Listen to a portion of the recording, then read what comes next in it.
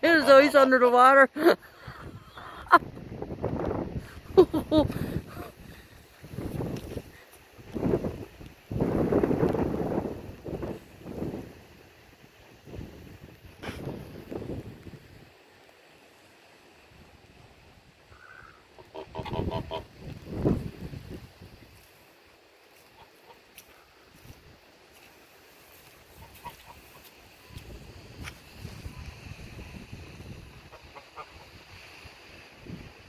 I don't think she can understand what's going on. I need two,